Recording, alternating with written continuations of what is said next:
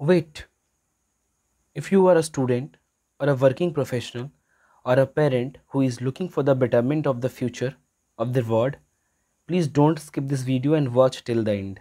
Hello and namaskar दोस्तों I am Sameer and welcome to the another page of Bright Diary.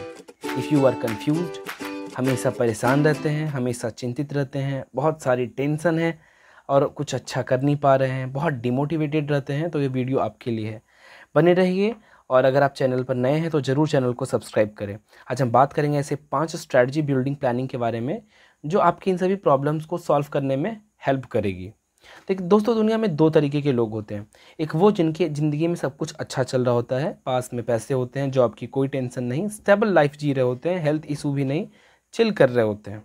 वही दूसरी तरफ़ वैसे लोग जो बहुत परेशान होते हैं, उनके साथ ऐसा कुछ भी नहीं होता। ना अच्छी जॉब ना पास में पैसे, ना अच्छा खाना पीना हमेशा डीमोटिवेटेड और हेल्थ इशूज से भी घिरे रहते हैं। तो हम बात करेंगे, आते हैं सीधा सॉल्यूशन पे कि हम ऐसा क्या करें जिससे इन सब चीज़ों से हम बाहर निकले। इन सभी परेशानियों से जो हमें परेशान कर रहे हैं और हम धीरे धीरे निगेटिव की ओर जा रहे हैं। दोस्तों, सबसे पहला है कि हम अपनी कोर आइडेंटिटी को पहचानें। हम अपनी आइडेंटिटी के हिसाब से सही डिसीजंस लें और एक स्टेबल लाइफ जी जी जीने का डिसीज़न ले और उसे आगे बढ़ाएँ। कई बार ऐसा होता है कि हम गलत तरीके से या गलत जगह पे चले जाते हैं, हमें करना नहीं होता काम, लेकिन हम वो प्रेशर में कर रहे होते हैं तो हमेशा डिमोटिवेट रहते हैं, मन में अजीब थाउट्स भी आ रहे होते हैं, इसको सही किया जा सकता है। दूसरा है clear your goal and mission दोस्तों, जब तक आप अपने गोल और मिशन को क्लियर नहीं करते सेट नहीं करते, तब तक हम इसी तरह से उलझनों में घिरे होते हैं। अभी अपने स्टडी टेबल के सामने, अपने एम को, अपने मिशन को सामने लिखें और रोज़ उसे देखें। ये आपको हेल्प करेगा और बहुत बूस्ट करने वाला है। तीसरा है ओवर थिंकिंग कहते हैं, सोचना अच्छी बात है, लेकिन ज़्यादा सोचना एक बीमारी है। कम सोचें, इससे बहुत फ़ायदे होंगे। अगर आप ज़्यादा सोचते हैं तो आप नेगेटिविटी की ओर तो जा ही रहे हैं साथ साथ आप सक्की भी बन रहे हैं। तीसरा है कि आप एक स्टिक रूटीन को फॉलो करें। जब तक हम रूटीन नहीं बना कर अपने रूटीन को फॉलो नहीं करते, एक डायरेक्शन लेस लाइफ कह सकते हैं कि हम जी रहे होते हैं। देखिए, अपने आप को ऑर्गेनाइज करना बहुत ज़रूरी है। तो टू डू लिस्ट का आप हेल्प ले सकते हैं, डेली डायरी लिख सकते हैं, जिससे क्या होगा, आपके काम आपके सामने होंगे, जो आपको करना है।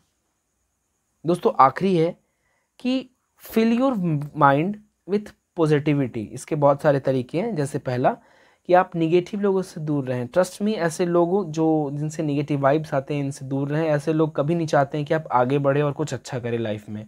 दूसरा है अपने आसपास के सराउंडिंग्स को साफ़ सुथरा रखें, एक हैप्पी इन्वामेंट क्रिएट करें।